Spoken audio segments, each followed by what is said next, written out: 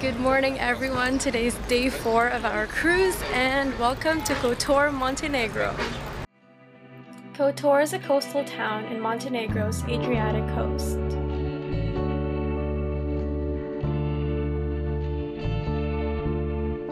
Its fortifications were built during the Venetian period to protect the town and was settled during ancient Roman times. We're just walking up these steps. Apparently it's 300 steps, so we're getting lots of exercise. when you're in a cruise ship, you're never hungry because there's food all the time. So this is great.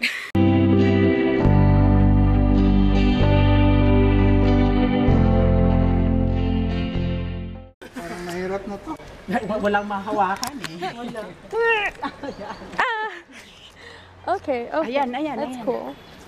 I'm like holding on for my dear life. Ow! I give up. Oh my god. Look at that. If I fell straight through. Gotta be careful. Ah!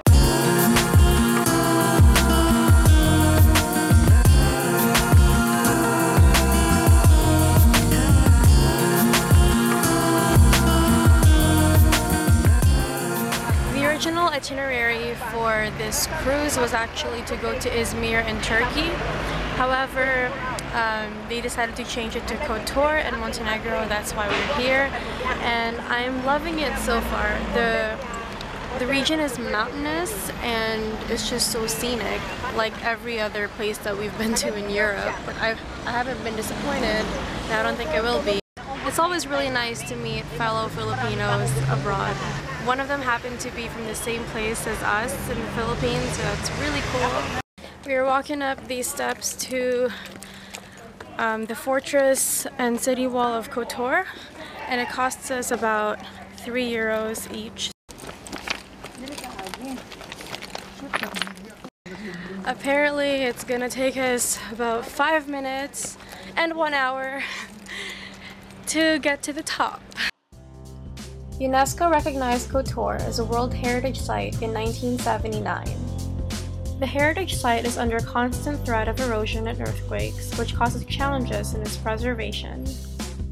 I feel like I'm in a video game, and the higher you go up, you unlock better views. So that's where we were before. And now we're all the way here.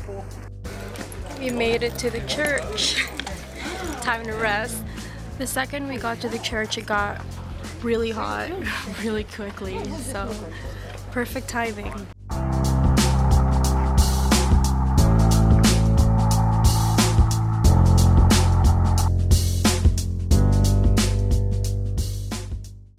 You can see our ship from here.